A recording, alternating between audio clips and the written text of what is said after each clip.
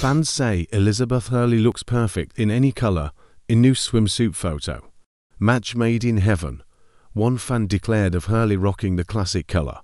One thing Elizabeth Hurley seemingly never has to question is her fans' level of support for her.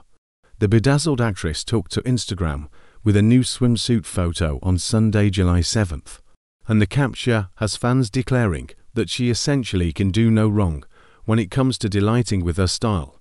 The picture found a strictly confidential star laid across a bed.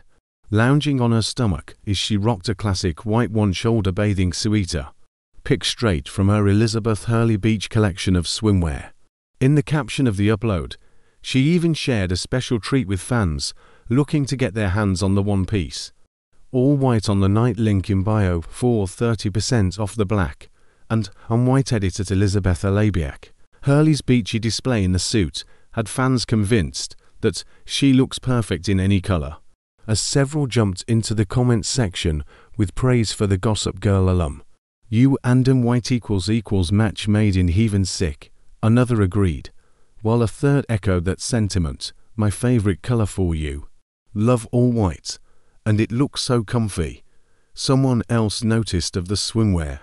An additional Instagram user admitted the 59 year old has been their crush forever, and several more simply left compliments calling the snapshot beautiful, gorgeous, and stunning.